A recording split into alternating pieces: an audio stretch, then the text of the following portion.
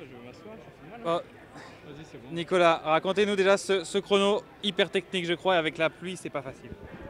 Euh, ouais, bah, c'est un chrono typique du, du Pays Basque, hein, on a l'habitude. euh, chrono, on sait pas trop le matériel qu'on doit utiliser, euh, avec une bosse un peu roulante au début, après beaucoup plus raide.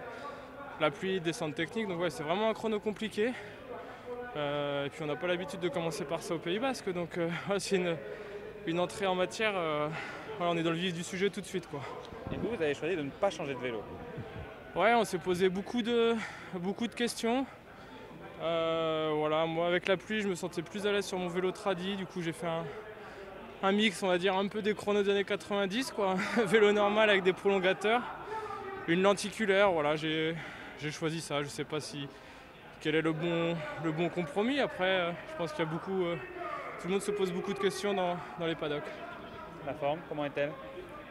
Bah écoutez, elle est bonne. hein, euh, voilà, le Paris-Nice c'était il y a trois semaines. J'ai fait la classique Loire-Atlantique, euh, ça allait bien. Après, c'est pas des parcours euh, qui me conviennent. On a fait il y a deux jours le, le Grand Prix de Virène qui était déjà assez exigeant. Voilà, donc du coup, c'est une bonne chose d'avoir couru il y a deux jours pour, pour commencer quoi, par un chrono comme ça sur le, sur le Pays Basque. Donc voilà, aujourd'hui, les sensations étaient bonnes. Donc c'est de. Voilà, je suis, confiant pour la suite de la semaine. Ça va être une, belle semaine de vélo comme on a l'habitude au Pays Basque. Merci.